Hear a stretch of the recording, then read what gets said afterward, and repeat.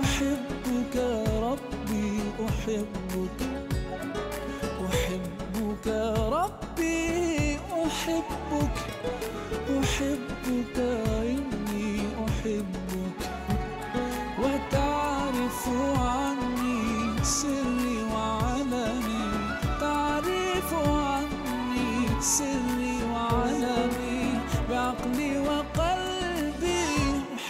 أحبك ربي أحبك ربي أحبك. أحبك إني أحبك.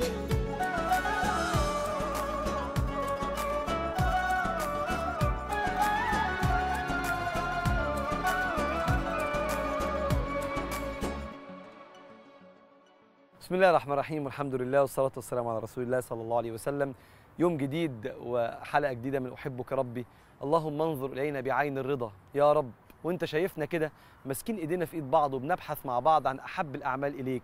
مش بس بنبحث عن أحب الأعمال بنبحث عن كيفية عملها بحيث نفعل ما تحب وكيفما تحب يا رب العالمين عشان تحبنا وترضى عنا. ولو الأعمال دي بتضحك لأصحابها هتضحك لنا وتباهي بينا الملائكة. عمل النهارده اللي هو من أحب الأعمال إلى الله هو شعار الصالحين. وهو سمعة النبي صلى الله عليه وسلم اللي اشتهرت عنه. وهو دليل إنك أنت إنسان إنسان في قلبك الرحمة. وهو دليل إن أنت فهمت طبيعة العلاقة بينك وبين ربنا وفهمت طبيعة الإيمان. عمل النهاردة هو فك الكروبات مساعدة المحتاج. الحديث اللي وقفنا قدامه وقلنا طيب هو ليه فك الكروبات من أحب الأعمال إلى الله؟ حديث واضح جدا وكأن سيدنا محمد بيساعدنا نفهم ربنا بيحب إيه. يا رسول الله لما واحد سأله أي الناس أحب إلى الله وأي الأعمال أعظم عند الله؟ فقال صلى الله عليه وسلم أحب الناس إلى الله أنفعهم للناس وأحب الأعمال إلى الله أو أعظم الأعمال عند الله سرور تدخله على مسلم. تكشف كربة إنسان بعد ما كان بيعيط يضحك بعد ما كان مهموم يبقى سعيد على إيديك أنت تبقى أنت الجسر اللي ربنا بيوصل نفعه للناس. عن طريقك انت. كده كده ربنا هيساعد الناس. كده كده ربنا مغيث يغيث المحتاجين. لكن يغيث عن طريق مين؟ مين اللي ربنا عز وجل عن طريق ايديه؟ هيساعد الناس عن طريق ايديك انت. انت الجسر اللي بين ربنا وما بين الخلق اللي بتوصل لهم نفع ربنا عز وجل. ودي سمعة النبي صلى الله عليه وسلم. وما تستغربش وإن كنت حافظ الحديث بس أرجوك اللي حافظه ساعات كتير بنتعود عليه فما نعرفش نطلع منه المنافع. فاكر لما سيدنا محمد رجع وهو بيترعش من الغار أول مرة يشوف سيدنا جبريل؟ فقال لزوجته السيدة خديجة لقد خشيت على نفسي. فقالت له يا محمد اللي زيك ما يخافش اللي زيك ربنا ما يضيعوش اللي زيك كبير عند ربنا. يا رسول الله يا محمد كلا والله لا يخزيك الله أبدا. إنك لتصل الرحم. أنت بتساعد قرايبك وتحمل الكل بتساعد الضعيف وتقري الضيف بتكرم ضيوفك وتعين على نوائب الدهر. لما تحصل عند حد مصيبة في أيامه أنت اللي بتساعده يا محمد صلى الله عليه وسلم. فاللي زيك بيعمل أحب الأعمال إلى الله اللي زيك عمره ما يضيع. عشان كده النبي لما حب يشبه المؤمن بحاجة وأرجوك فكر معايا في المعنى ده. وقول أنا كده ولا لأ؟ لما النبي حب يشبه المؤمن شبهه بالمطرة. شوف المطرة إزاي بتنزل تنجد المزارع اللي زرعه بيموت وتشرب العطشان اللي مش قادر. وحتى الدواب والحيوانات بتبقى تعبانة ومرهقة جدا جدا في أيام الجفاف. ينزل المطر الكل يفرح قال صلى الله عليه وسلم المؤمن كالغيث أينما حل نفع. أنت المطرة أنت المطرة اللي بتنزل من عند ربنا علشان تغيث بيها المكروب. ده اللي إحنا جايين النهارده نغرزه في دمنا. ونتعلمه إزاي ما أشوفش حواليا أي حد محتاج لو أقدر أساعد أساعد. وهتعلم إزاي النهارده أنا وحضراتكم من كلام النبي وأفعال الصحابة. النبي طبعا صلى الله عليه وسلم وأفعال الصحابة وكلام ربنا اللي في القرآن. الله إزاي يحبنا ننجد ونفرج كروب العباد؟ قال صلى الله عليه وسلم والله يحبه تحب إيه يا رب؟ عشان نعمله. عشان نقول لك نقول لك يا رب أحبك ربي بفعل ما تحب. والله يحب إغاثة اللهفان. تخلق بسم الله المغيث وغيث اللهفان وفك الكروبات وانت بتقول لربنا أحبك ربي. عارف ليه ربنا يحبك؟ تفرج كروب الناس ينظر في قلبك يلاقي الحنية دي. الحنية اللي تخلي سعادتك سببها إن اللي حواليك ما يكونوش محتاجين حاجة؟ لأنك كده هتبقى أنت وريث الرحمة النبوية. شوف اللقب ده. النبي اللي كانت الرحمة في قلبه للعالمين. انت بتورث على قدك طبعا. بتورث للي حواليك للي عرفت إن هم محتاجين حد يساعدهم. سيدنا محمد ما كانش يسمع عن أي حد محتاج أي حاجة إلا ويكفيه حتى لو هيكلفه ده كل اللي يملك. وربنا لما ذكر الأنبياء في القرآن ذكر إن حالهم إن أريد إلا الإصلاح ما استطعت. أنا هصلح على قد ما أقدر. وأشرف شيء تصلحه هو نفسيات الناس. فربنا يحبك. تفك الكروبات لأنك كده هتبقى ورثت الرحمة النبوية. تعرف أنت عملت في نفسك إيه لما تكون حنين على اللي حواليك بتساعد؟ مش عندك كده لا مبالاة إنما لأ مهموم بهم الناس. أنت خرجت من بشريتك. أخرجت صفة حب التملك تملك الأشياء تملك الفلوس لا هساعد بيها. تملك الوقت لا هديه أسمع حد يكون نفسه في حاجة يفضفض بيها وأنا أقعد أسمعه. انت طلعت من بشريتك وارتقيت قوي قوي قوي. بس أنا هقول لك حاجة قبل ما نكمل مع بعض ونقول هو ربنا يحبنا نفرج الكروبات إزاي بحيث ان إحنا نفعل ما يحب وكيفما يحب. حط نفسك مكان المحتاج. لازم الحالة دي تبقى معانا طول الحلقة. انك دايما قبل ما تفكر تساعد أرجوك. خلي كده وانت في بالك كده لو أنا اللي محتاج أحب الناس تساعدني إزاي؟ لو حطيت نفسك في الحالة دي هتعرف تستجيب قوي لربنا لما يقول لك تساعد الناس إزاي. لأن ناس كتير بتساعد بس هل الكل بيساعد بالطريقة اللي ربنا يحبها؟ ده اللي إحنا النهارده جايين مع بعض نفتح قلوبنا لربنا ولرسوله صلى الله عليه وسلم والأفعال الصالحين ونتدبر فيها ونتتبع. يا رب إزاي تحب نفرج كروبات اللي حوالينا علشان نقول لك بنحبك يا رب أحبك ربي. بتفريج الكروبات ولكن زي ما تحب. إحنا بنعبدك زي ما تحب يا رب العالمين.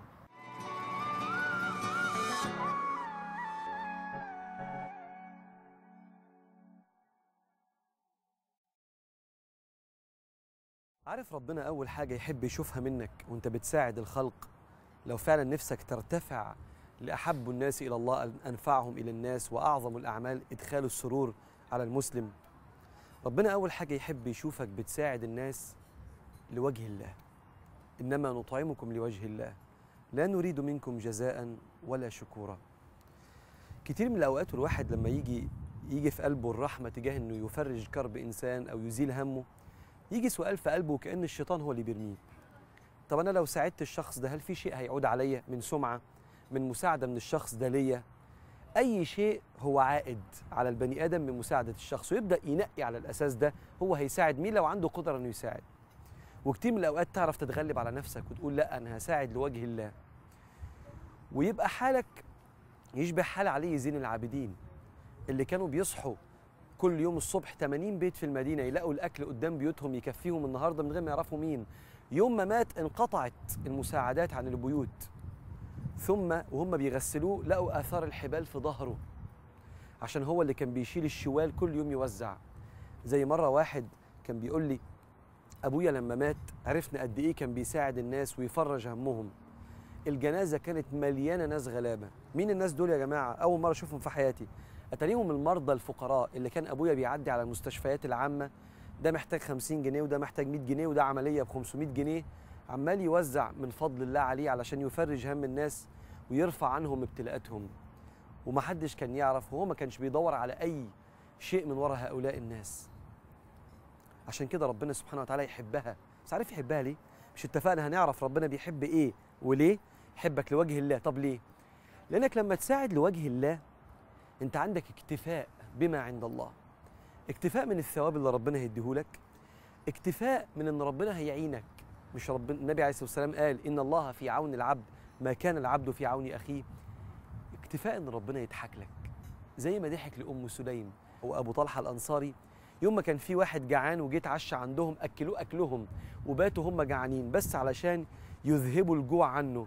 فلما أذهبوا الجوع عنه سيدنا محمد صلى الله عليه وسلم قال لهم إن الله ضحك من صنيعكما بضيفكما. هي لا تتخيل يعني صعب إنك تتخيل ربنا بيضحك إزاي. كل ما خطر ببالك فالله خلاف ذلك. لكن أنت حاسس بيها دلوقتي. ربنا بيضحك ليك. ومن ضحك الله له فلا حساب ولا عذاب عليه يوم القيامة. فاعملها لله. لما تيجي تكفلي يتيم أو يتيمة ما تدوريش أني اللي شعرها أصفر شكلها حلو عشان لما صحباتك يشوفوها اطردي الفكرة دي وساعدي اللي محتاجة أكتر اليتيمة الأفقر والأكثر احتياجا لحنانك ومساعدتك. لوجه الله سبحانه وتعالى.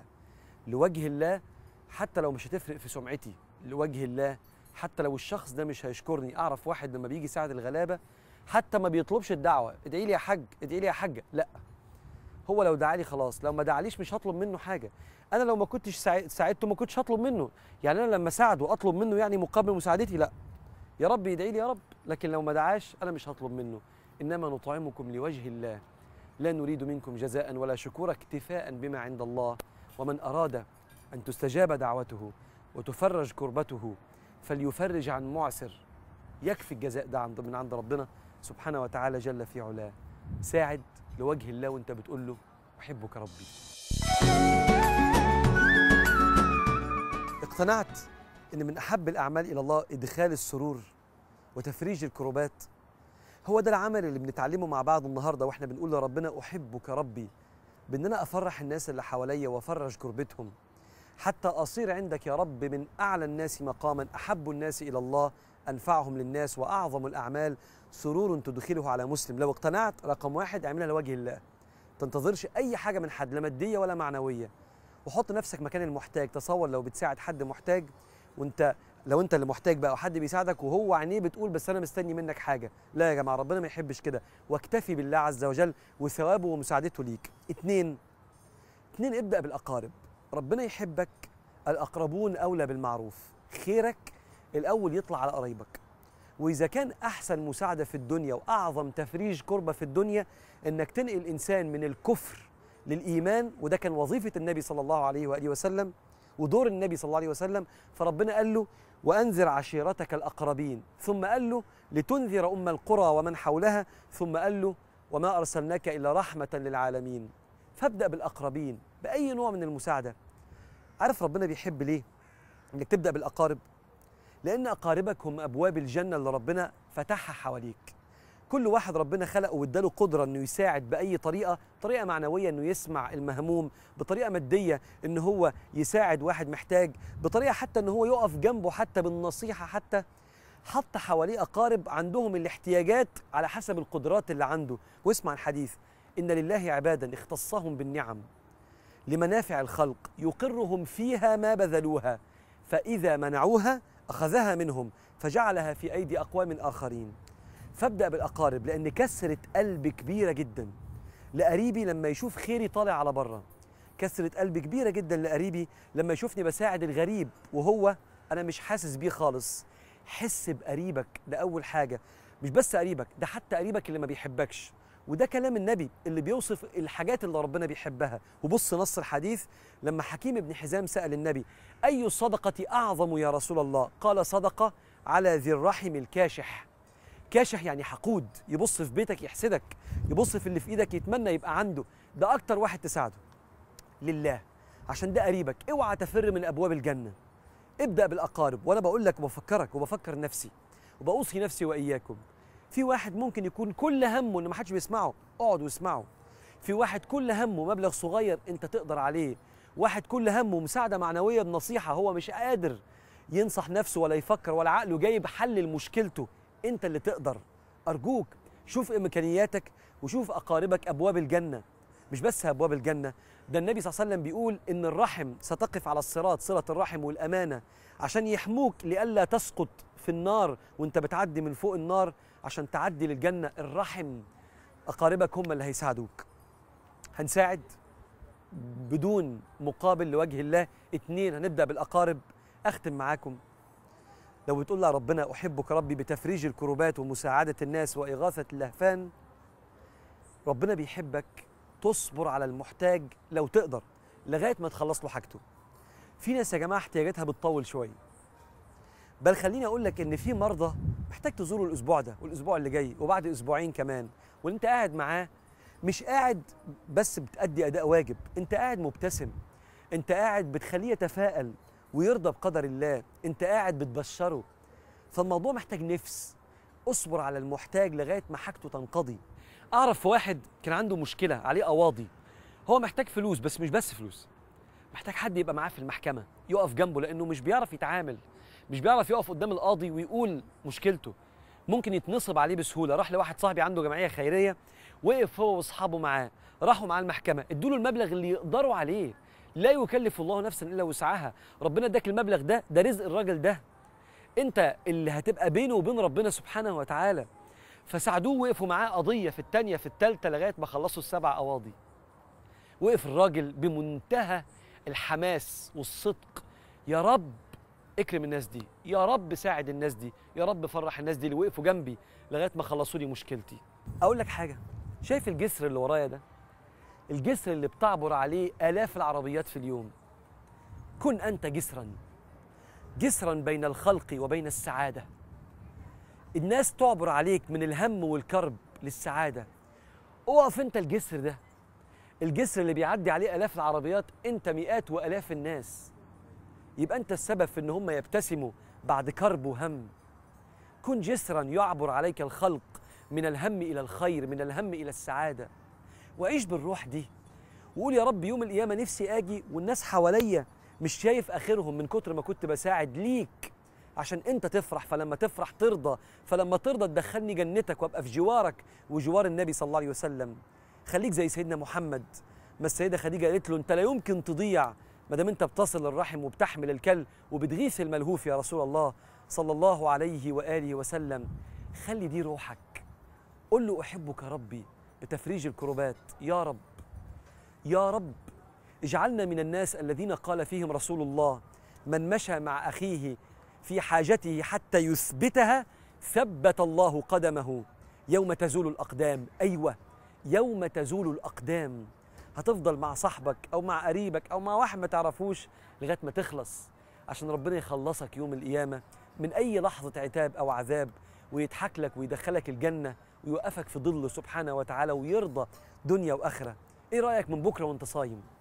وأنت صايم في أشرف حالاتك كده تنزل وتدور على حد محتاج تفرحه وتضحكه وابدأ بقرايبك لوجه الله واصبر لغاية ما تخلصها لو تقدر عشان تقول له أحبك ربي.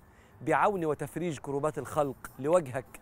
أحبك ربي بالبداية بالأقربين أحبك ربي بالصبر على المحتاج حتى تفرج كربته وتقول له يا رب ده اللي قادر أعمله.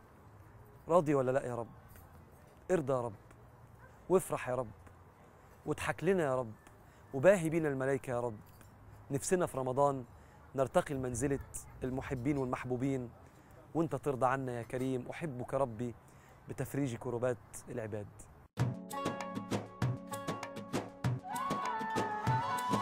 أحبك طمعا وآملا. أحبك قولا وعملا. أحبك طمعا وآملا. أحبك قولا وعملا. لك العب حتى وترضى لك العب حتى تعفو وترضى.